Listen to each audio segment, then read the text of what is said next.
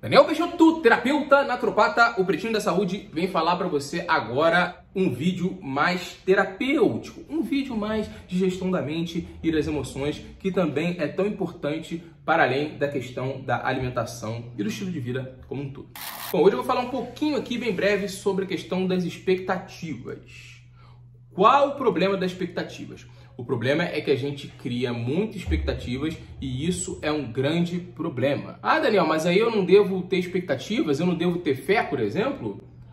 Claro, claro, você deve ter fé e um pensamento positivo sempre, mas você não deve criar expectativas. E o que que não, o que que é não criar expectativas?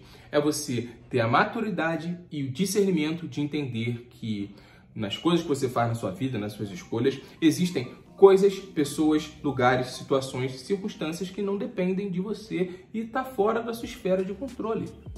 E isso é uma coisa muito difícil para a gente aceitar. É muito difícil e é motivo de enervamento, né? Quando a coisa não sai do jeito que você imaginou, do jeito que você pretendia. Só que, como eu falei, tem coisas que você não pode controlar. O universo é muito complexo. Né? Então a gente tem que ficar com o pé no chão e o máximo que a gente pode fazer aí é dar o melhor de nós, o máximo possível, dentro da possibilidade que a gente tenha no momento. Isso está na nossa esfera de controle. Agora, se deu errado um evento, um concurso, uma ação, um relacionamento, é porque saiu da sua esfera de controle. O que você tem que fazer é um feedback interno e avaliar aí se você fez a sua parte. Se não deu certo, a tua consciência fica até um pouco mais tranquila. De todo modo, você não deve criar expectativas, porque expectativas frustradas às vezes é tão ou mais doloroso que um bom cruzado de direita. É uma coisa que pode causar aí frustrações, apatia, depressão, alterar a bioquímica do teu corpo aí e te deixar doente.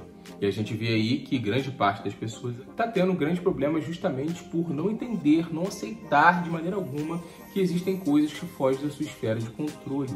E nós temos que ter a maturidade, inteligência e discernimento de aceitar. Existe uma maravilha, existe uma bênção em você aceitar aquilo que você não pode alcançar. E é o que eu digo, aceitar e se conformar são duas coisas diferentes. Se conformar é simplesmente você poderia fazer algo a mais para poder conquistar ou para poder resolver aquela situação e resolveu deixar para lá. Agora, o aceitar não. O aceitar envolve essa maturidade, discernimento de deixar a coisa fluir, deixar a coisa acontecer. Eu dou o melhor de mim, só que a coisa não aconteceu e vida que segue. Você não se enerva, pode ficar chateado na hora e sua vida segue tranquilo e você aí está pronto para ir atrás de outros objetivos. Como eu falei, o universo é muito complexo, ele tem muitas leis e a maior parte delas talvez a gente não conheça porque a gente vive aí num mundo muito bagunçado. Então a gente tem que estar sempre com os pés no chão e fazer o melhor que a gente pode. E acredite você ou não, nós não entendemos infelizmente o linguajar, a linguagem né, do universo. Mas saiba que o universo, controlado pelo Criador, ele nunca te diz não. Ele te diz apenas sim, não agora ou outra coisa. Pegou a visão? Gostou do vídeo? Dá um like, se inscreve no canal do Pretinho e partilha essa mensagem aí para agregar na vida de outros amados, tá bom? Mente livre, corpo livre. Beijo, beijo. Até o próximo vídeo.